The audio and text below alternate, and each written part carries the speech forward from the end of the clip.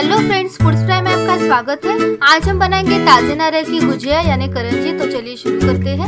ताजे नारियल की गुजिया बनाने के लिए क्या चीज़ें चाहिए, देखते हैं।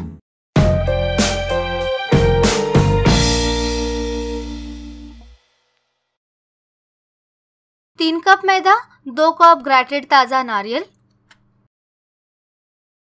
सूजी, एक कप गुड़, इलायची पाउडर बेकिंग पाउडर नमक और घी। तो चलिए बनाते हैं गुजिया। सबसे पहले हम गुजियों का आटा तैयार करेंगे। बाउल में डालेंगे तीन कप मैदा।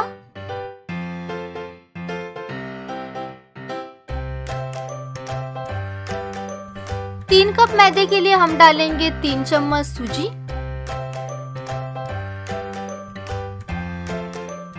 इसमें डालेंगे थोड़ा सा नमक। एक छोटा चम्मच बेकिंग पाउडर। सारी चीज़ों को हम अच्छे से मिक्स करेंगे। अब इसके अंदर हम डालेंगे गरम तेल।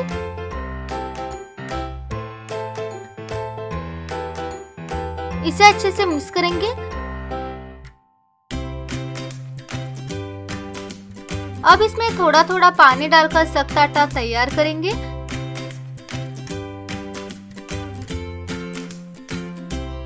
अब इसके अंदर हम लास्ट में डालेंगे थोड़ा सा तेल। फिर से इसे अच्छे से मिक्स करेंगे।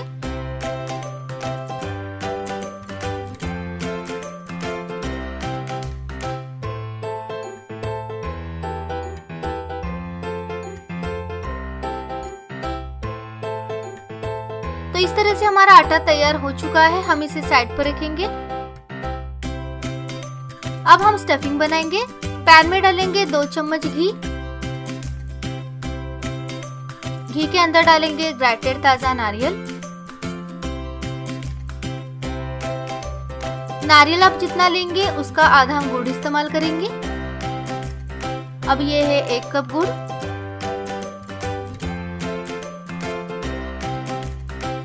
इसमें डालेंगे थोड़ा सा नमक।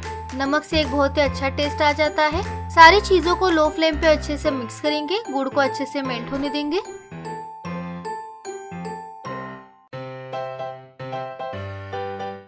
देखिए, हमारा स्टफिंग अच्छे से तैयार हो चुका है, इसे इस तरह से गाढ़ा होना चाहिए।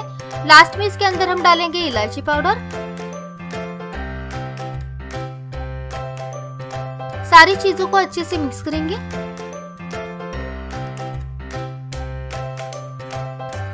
इस तरह से हमारा स्टफिंग तैयार है, इसे हम ठंडा करने के लिए साइड पे रखेंगे। हमारा स्टफिंग भी तैयार हो चुका है, अब हम आटा देखेंगे। तो इस तरह से हमारा आटा भी अच्छे से फूल चुका है, फिर से इसे अच्छे से मिक्स करेंगे। अब हम गुजिया बनाना स्टार्ट करेंगे।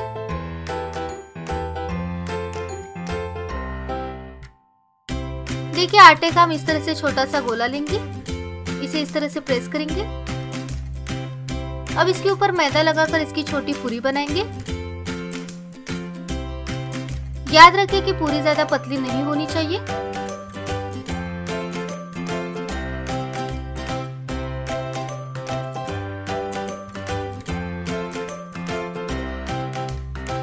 देखिए, इस तरह से ये पूरी तैयार है। अब इसके अंदर स्टफिंग भरेंगे, जिसे हमने बनाया था, नारियल का स्टफिंग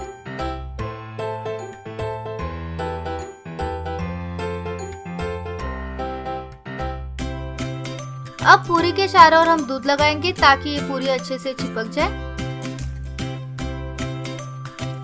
इसे इस तरह से प्रेस करते जाएँगे। अब इसे हम कट करेंगे अच्छे से। इसे हम गुजियों का शेप देंगे। तो इस तरह से हमने पहली गुजिया बना दी है। इसी तरह से हम सारी गुजिया बनाएँगे। तो इस तरह से हमने सारी गुजियों को तैयार कर लिया है। अब इसे डीप फ्राई करेंगे। तेल को हमने पहले से गरम कर लिया है। देखिए, तेल गरम हो चुका है। मीडियम फ्लेम पे गुजियों को अच्छे से लाइट गोल्डन ब्राउन होने तक डीप फ्राई करेंगे।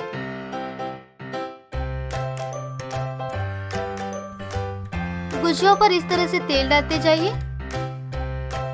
एक साइड हो जाने के बाद दूसरी साइड से गुजियों को अच्छे से डीप फ्राई करेंगे।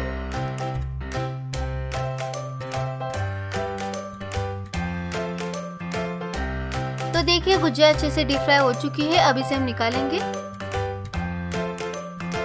इसी तरह से हम सारे गुजिया बनाएँगे।